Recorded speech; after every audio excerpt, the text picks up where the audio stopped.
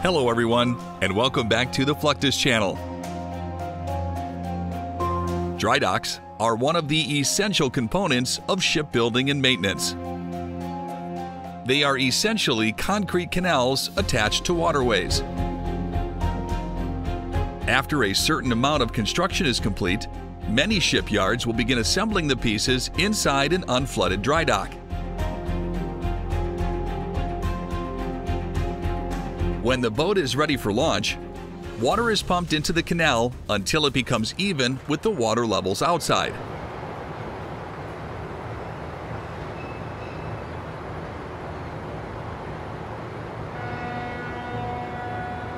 Once this happens, the gate is open and the ship sails away.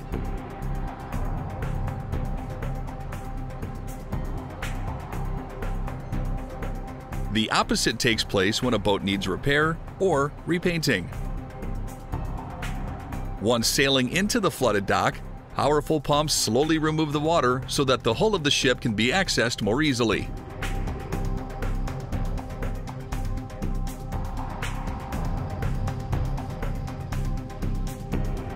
Dry docking differs slightly depending on the ship's size and the shipyard's capabilities.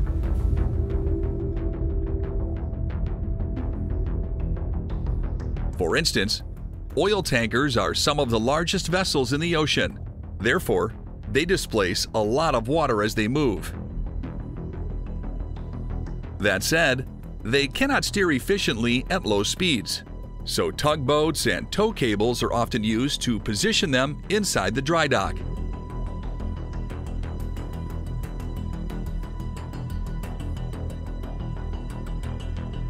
The boat must be placed directly above the supports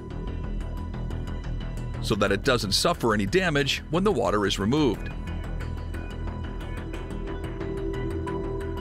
Depending on the procedure or repair being performed, a vessel this size can spend over a year in a dry dock getting washed, blasted free of corrosive materials, and repainted with anti-fouling paint. Once the boat is ready to depart, the water is brought back in. And the vessel is moved out to sea with the help of several tugs. Once clear of the shipyard, it can enter the open sea or ocean.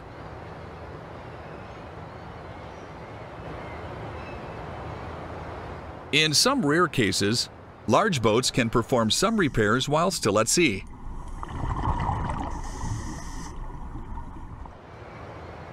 However, in the case of severe damage or damage to parts of the ship located below the waterline, visiting a dry dock is usually the best course of action. Shipyards all around the world are equipped to take on these repair projects, which can range all over the spectrum from hull damage to engine failure and fire damage. Since dry docks range in size and depth, sometimes large boats that suffer damage need to travel further or even be towed hundreds of miles before they can be repaired.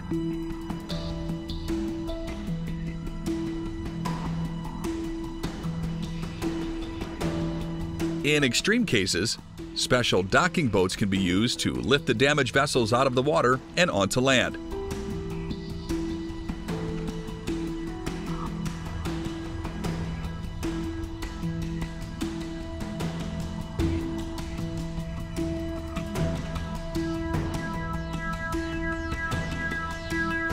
When it comes to massive 100,000 ton ships, one of the biggest repair challenges can be removing and replacing propellers.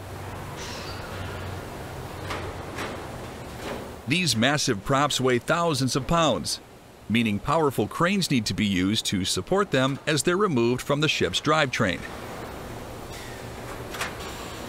Such an operation simply can't be accomplished in the open sea.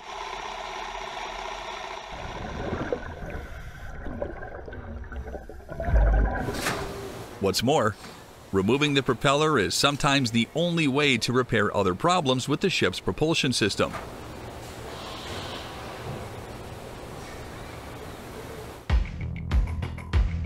Among the most important aspects of maintaining a vessel is keeping the hull clear of corrosive substances. Though barnacles, mold, and other living things can do severe damage to a hull rather quickly, the most common issue affecting underwater components is their saltwater environment. Over time, repeated exposure to the sea can start to remove the protective coatings of paint, get into cracks and seams, and even wear away the hull itself. With hydroblasting, Dry dock crews can remove all of this corrosive material and any remaining remnants of paint.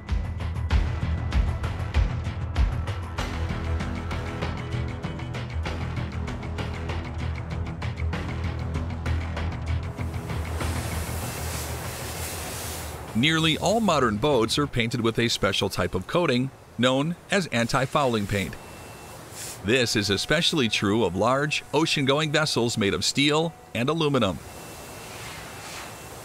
These unique paints contain various chemicals, such as cuprous oxide or other copper compounds, as well as biocides. Both of these work to impede the growth of barnacles and other biohazards. Applied in layers, these paints also reduce the water's ability to corrode the ship's hull itself, while improving water flow over the surface.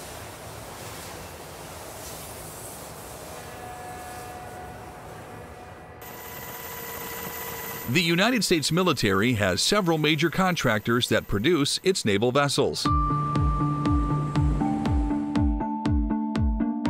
Among these are Newport News Shipbuilding, Mission Technologies, and Ingalls Shipbuilding.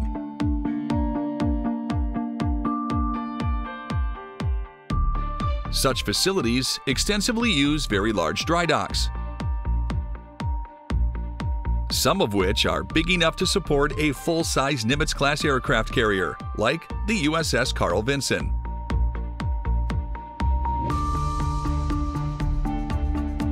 Here at Puget Sound Naval Shipyard in Washington, the Carl Vinson is leaving after nearly a year of repairs and renovations, costing 367 million. At 101,000 tons and 1,100 feet long, it takes string coordination between a tugboat and dry dock crews to get the ship into the water safely.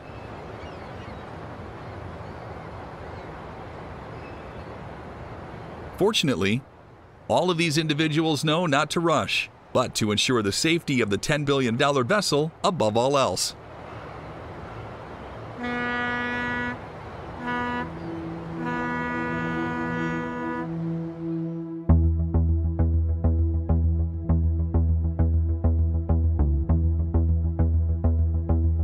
As with its non-military counterparts, the U.S. Navy has access to special floating dry docks as well.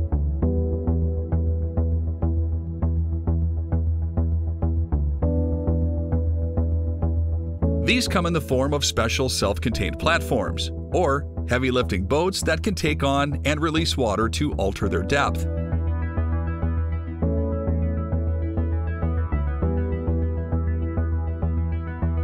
This more or less reverses the traditional dry dock process, with the platform flooding its ballast tanks in order to sink to an appropriate depth.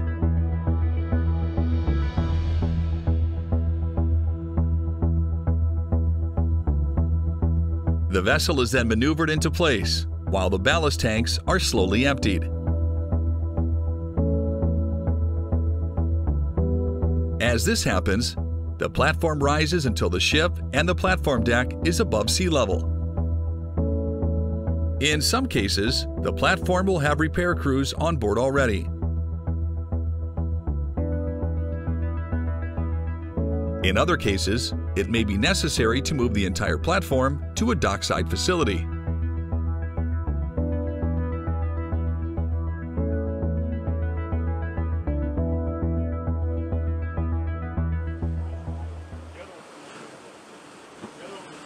Painting is an important part of maintaining military vessels as well. For decades, the U.S. military ships have been covered in a color known as deck gray.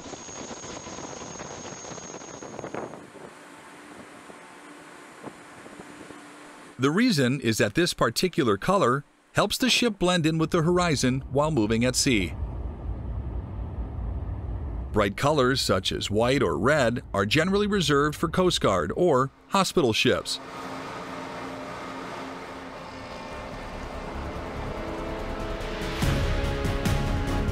At a certain distance, a great warship will all but disappear from view. However, the U.S. Navy recently began considering painting its ships with a camouflage pattern.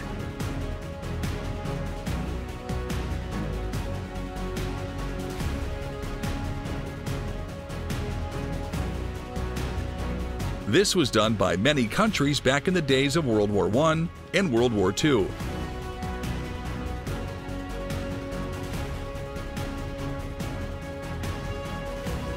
These various lines and patterns made it difficult for enemies to tell in which direction a ship might be traveling.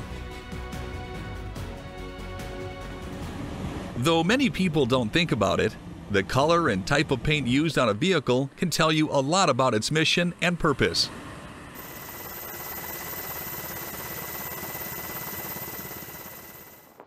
Again, hospital ships are often painted white so that enemies know that they're not on hand to engage in combat but to tend to the wounded.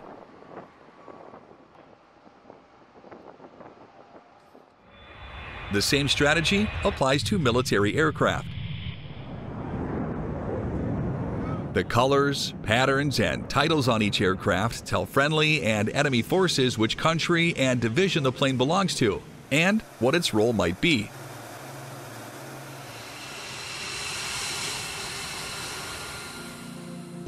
During Vietnam, for instance, F 4 Phantoms were often painted with a green and beige scheme. This helped them blend into the canopy jungle below. Other color schemes might be applied to aircraft that perform different roles or are designed to operate in different environments.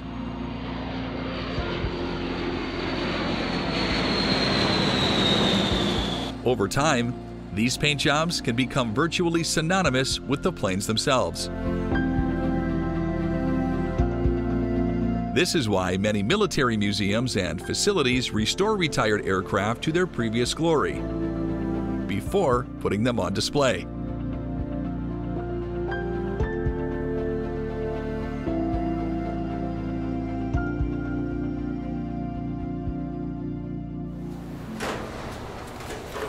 The actual painting process used for full-size aircraft is quite extensive.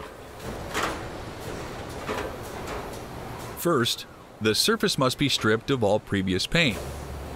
This avoids overweighting the aircraft. After that, three layers are applied the primer, the base coat, and the top coat. The last of these can give the aircraft a shiny appearance, often associated with commercial airliners. Military airplanes are coated with a thin layer of primer using handheld or motorized sprayers.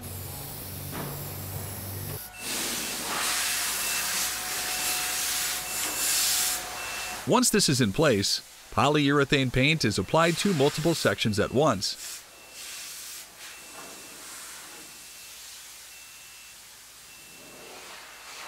Even with the benefit of lifts, cranes, and several painters, this process can take hours to complete. Afterward, designations, numbers, and warning symbols must be painted atop the main coat. This can take even longer, but few could possibly argue with the stunning results.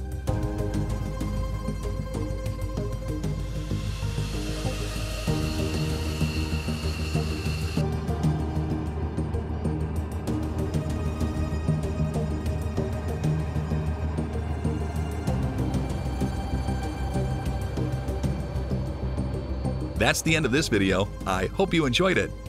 Make sure to subscribe to this channel so you don't miss any of our new content. See you next time.